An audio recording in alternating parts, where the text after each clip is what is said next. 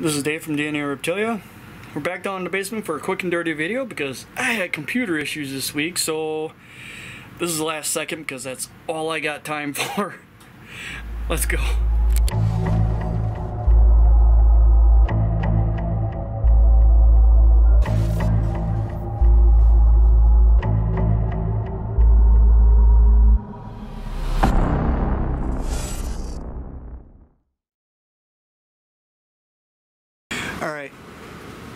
Update number one.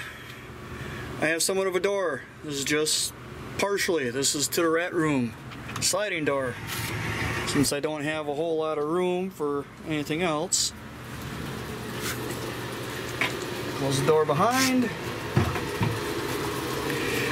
Not really much of a update for the tubs or anything.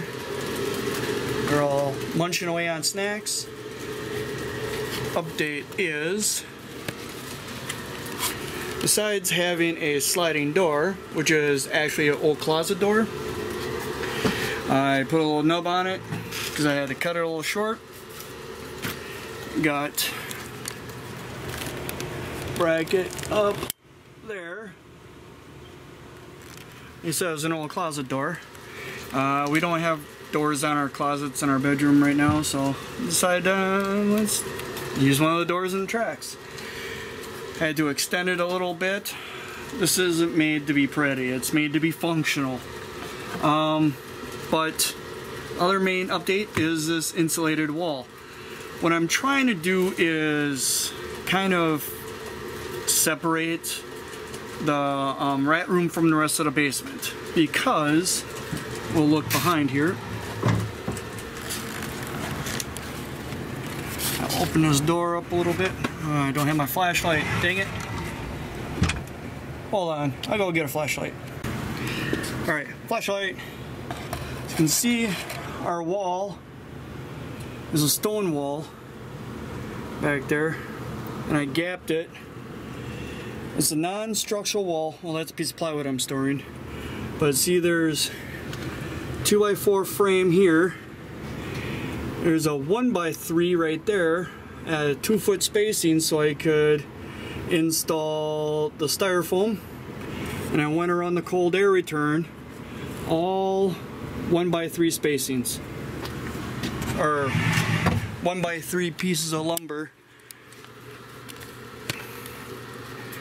at a 2 foot spacing. Reason why I did a 2 foot spacing, well, it's plain simple. Does the styrofoam insulation It's four feet wide. It's a non-structural wall. I wanted it to be easy to install the insulation to try to block off this room. What you can't see is behind here, you could go into the other side of the basement and there was a big hole up here also that could go to the other side of the basement plus the cold air return. I'm just trying to keep the temperature more even in this side of the basement so that, um, well, basically temperatures, but it helps keep the ammonia over on this side instead of spread, spreading throughout the rest of the house. It wasn't bad because it was really thinned out, but since I put up this wall right here and uh, completely closed it off pretty much, the ammonia has been actually staying in here. A couple days ago, um, before I cleaned, it was a lot stronger in here than what it ever has been. So the importance of separating this amount of rats, I have like 80 or 90 breeding females plus a male per tub and the grow-ups, which this week has been a good week. Mind you, this is only temporary. I have customers that come in and grab um, smalls and I will be probably culling tomorrow also. So this is just from the cleaning from the past two days. So I will be doing some culling tomorrow to cull some uh, smalls. See the yellow going towards the back there. But yes, I need to cull smalls in order to feed our other snakes. It's been a long time since this has been that full because I had to rotate our females around. Well, not around, I had to rotate them out of production because they were over six months old. Over a period of the last three months, I've been reducing, or I have been culling the breeding females and some of the males and putting new females in rotation. And now the production is back up again, which is really nice.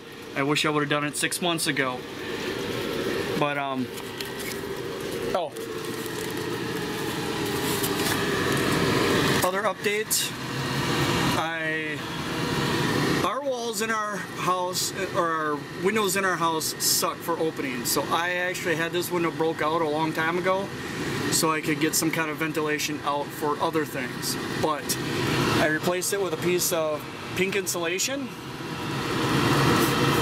which is in there pretty tight. It's still a little, little cold air is coming around the sides, but it's not bad.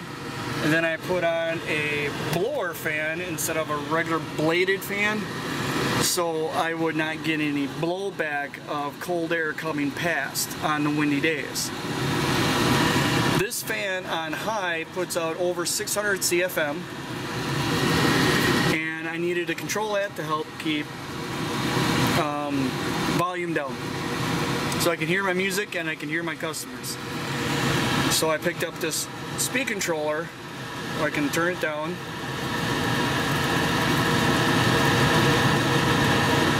turn it really far down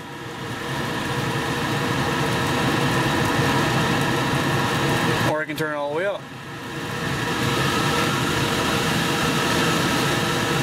If I leave it on high medium, if I wanted to I can turn it off or turn it on full.